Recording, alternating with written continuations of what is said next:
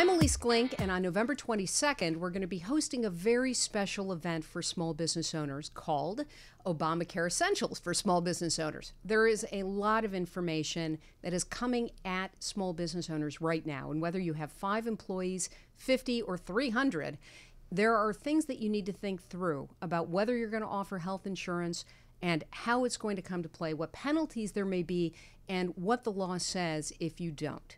So, with me, I have Aliszon Szot. She is a healthcare consultant and a writer and has been a journalist in all kinds of communications um, in the healthcare. And you're going to be there with me on November 22nd, right? I am. I'm looking forward to it. I, we're looking forward to having you. So, when you think about what's going on here, it, it seems very complicated for small business owners.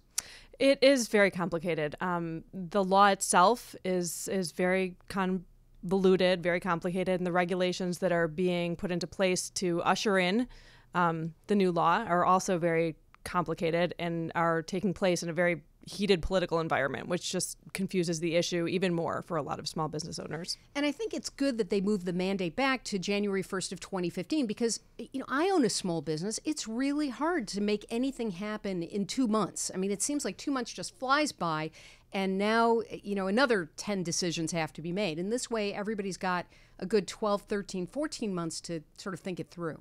Yeah, and preparation is definitely the key to making the right decisions in um, with regards to making any changes in your health benefits package that you offer to employees. Right. So we'll have to talk about that. Um, we've divided the panels into three. There's sort of the first panel is here are the basics. Here's what you need to know. Here are the 10 essential benefits. You know, we want people to understand that, you know, what it is they have to consider. And then the next one, this was your suggestion that we really focus on the legal and the tax implications. I think that some of those uh, issues are the most overwhelming for small business owners.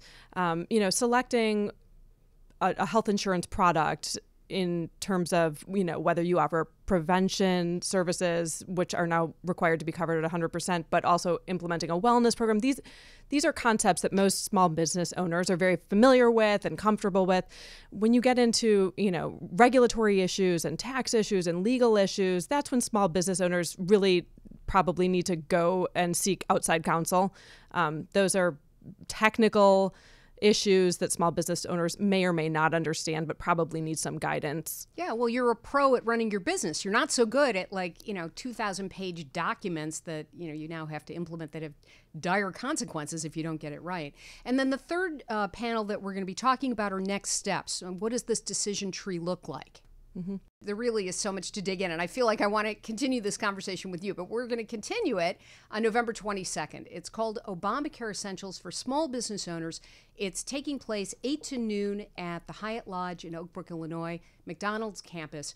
Tickets are on sale now. Reserve your place. Uh, call 312 222 5070 or you can go online to wgnradio.com slash events and click through there. There are a whole bunch of videos that we've put up, some information about the panelists.